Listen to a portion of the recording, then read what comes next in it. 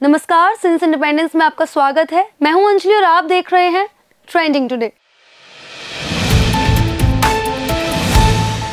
तो आज social media पर जो विषय या टॉपिक सबसे अधिक ट्रेंडिंग में है, उनमें से सबसे पहला है बलूचिस्तान।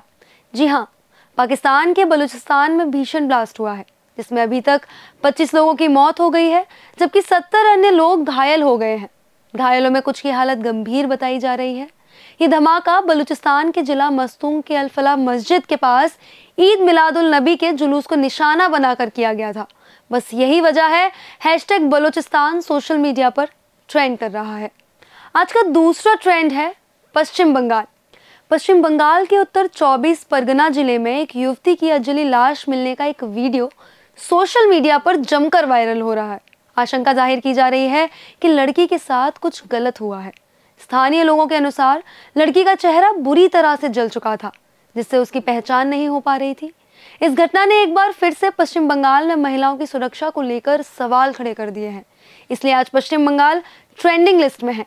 आज का हमारा तीसरा ट्रेंड है मेनका गांधी।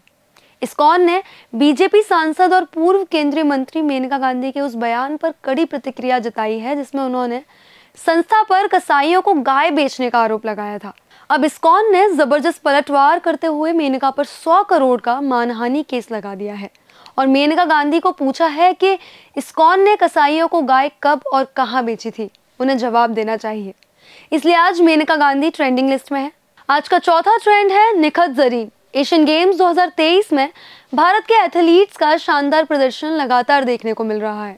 अब भारत की स्टार मुक्केबाज महिला खिलाड़ी निखत जरीन ने महिलाओं के 45 से 50 किलोग्राम वर्ग के क्वार्टर फाइनल मुकाबले में जीत हासिल करने के साथ सेमीफाइनल में अपनी जगह को पक्का कर लिया है। इसी के साथ अब इस इवेंट में भी पतक पक्का हो चुका है और आपको यह भी बता दें कि निखत जरीन पेरिस 2024 ओलंपिक के लिए टिकट बुक करने वाली भारत की पहली मुक्केबाज बनी है और इस कारण निखत जरीन आज ट्विटर ट्रेंड कर रही हैं। आज का हमारा आखिरी यानी कि पांचवा ट्रेंड है toilet paper of India social media पर उज्जैन हैशटैग के साथ टाइम्स ऑफ़ इंडिया का एक कार्टून जमकर शेयर किया गया। जिसमें दिखाया गया था कि कैसे उज्जैन के स्थानीय लोग गाय की तो पूजा कर रहे थे, पर मदद मांगने पर लड़की को धुतकार कर भगा रहे थे।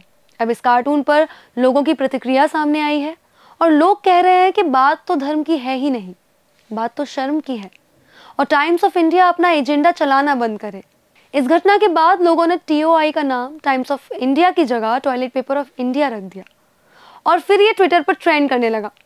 तो ये थे आज के सबसे फाइव हॉट ट्रेंड कल शाम फिर मिलते हैं कल के ट्रेंड्स के साथ। आप देखते रहिए ट्रेंडिंग टुडे और बने रहिए सिंस इंडिपेंडेंस के साथ। नमस्कार।